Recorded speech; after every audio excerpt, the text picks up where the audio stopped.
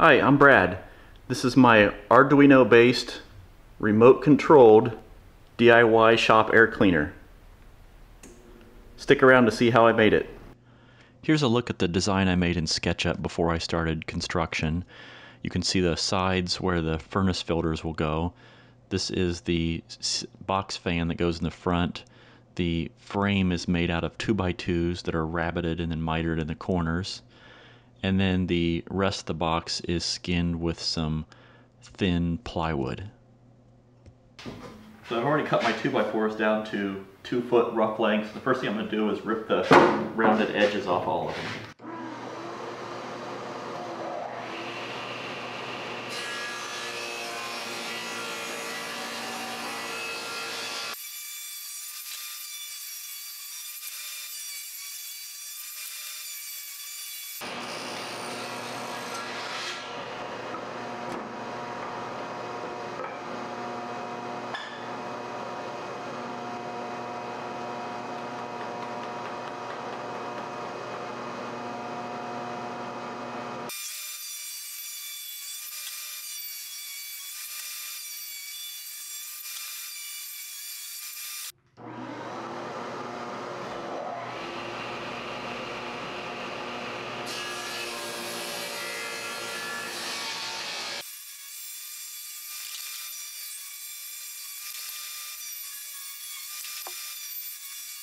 Okay, now that all the blanks for the frames are cut down to one and a half inch square, we're going to cut in a rabbet which will hold the furnace filter. Now this is precisely three quarters of an inch thick and so I'm going to cut a rabbet in that deep and that wide but I am going to leave it a little bit of allowance in the depth for some foam weather stripping that I'll put in there to make sure that it's a good, fairly good positive seal around the, the filter. So I'm going to cut this in, again, a little bit deeper than three quarters of an inch in the first pass. I'm going to go with 7 8 inch deep. I'm to bring that over to 3 quarter inches wide.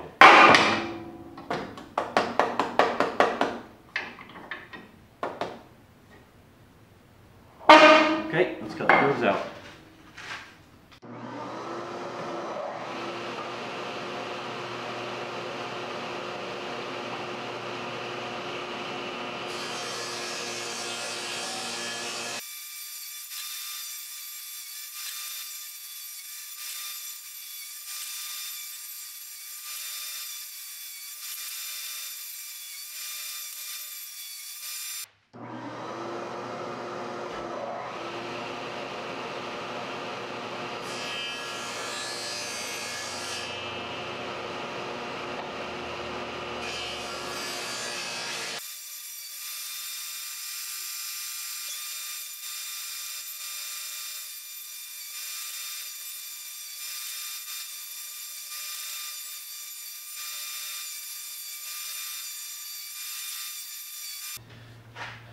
Okay, so next up we're going to start cutting the 45s in all these.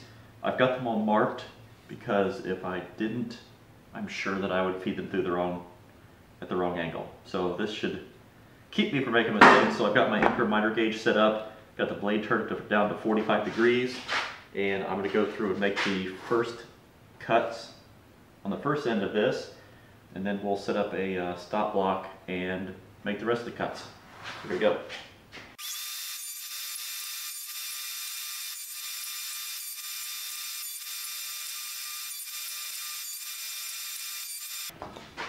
Okay, so I took the one of the first ones, I crept up on the cut to make sure that it was a proper fit. And once I got that set, I went ahead and clamped one of the one of the 45 degree off cuts on here and used it as a stop block. So I'm now set up and ready to cut the rest of the frame pieces.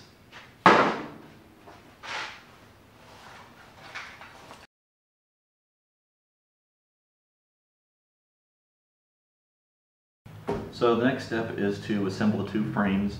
Now the filters are square, which means the frames are square, which means that all four pieces are identical, so I don't have to worry about lining up uh, two together that are verticals and two that are horizontals. They're all identical, so um, I don't think I can mess this up. So I'm gonna get some glue together run some brad nails in it to hold it while it's drying and uh, move along.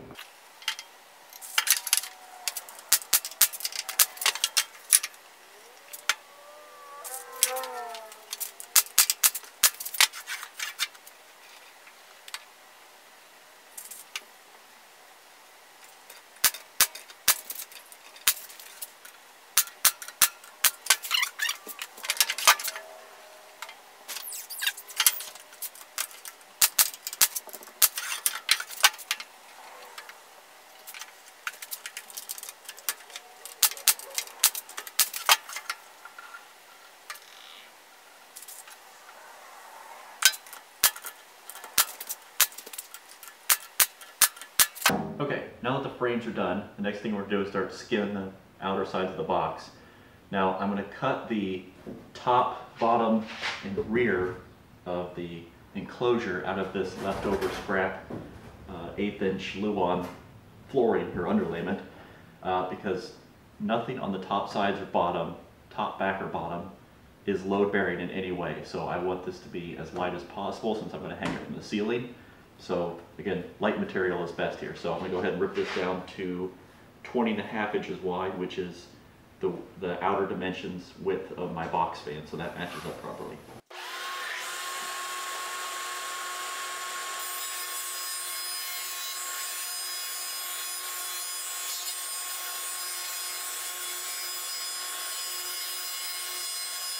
So before I move the fence uh, for the next cuts, I'm gonna go ahead and cut the front panel, which will hold the fan. Now this does not need to be heavy duty. Um, I'm using some leftover 7 16 It's kind of garbage grade scrap plywood.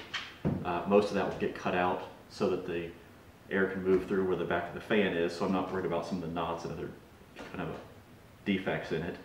Um, and again, this is overkill for what I really need, but I have it on hand, so that's what I'm gonna use. I'm going to cut that down.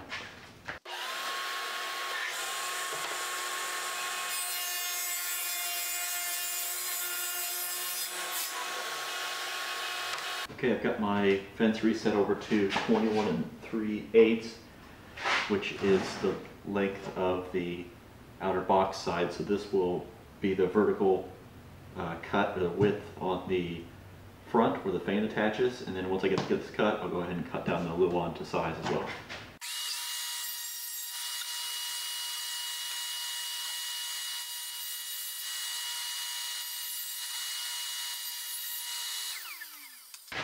Okay, with the panels all cut, I've got my fan that I'm going to be using for the blower for this.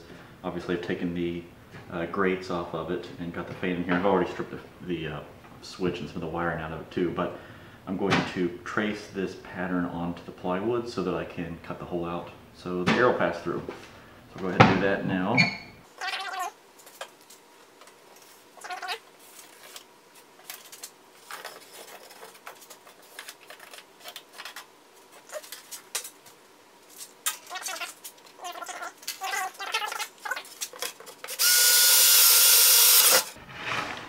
A very dull bit.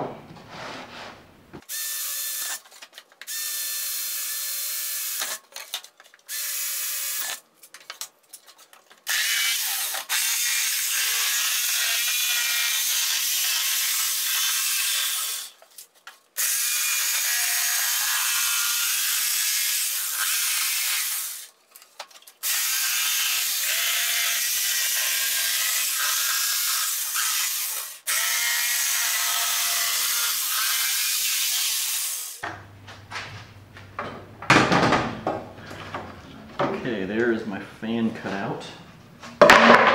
Now what I did was, um, you can see that the blue line here, what that shows in the camera, is the inner border of the steel frame. And I stayed in from that, I wasn't worried about too, being too precise, but um, anywhere from a quarter to maybe three eighths around there, because the fan diameter the blades move within is not as big as the this outer size, so um, it doesn't need to be precisely along that. So now I will uh, let's, let's lay this down, test fit the fan body on it, and that looks pretty good.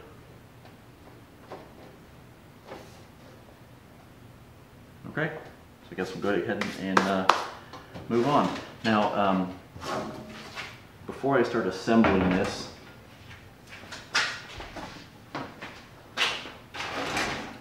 this fan, so it had a the switch on top of it. This was the speed control as well as the off. There are holes in the bottom for uh, feet, legs to go in here, and then there's just other random kind of punch holes, and I have no idea why they're there.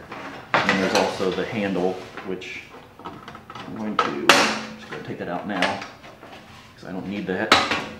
So these are all holes, and I don't know how much it's going to affect the airflow, but I'd rather not let any more air than necessary come in through these holes as opposed to the filters, which is in the end the purpose of the, this whole thing.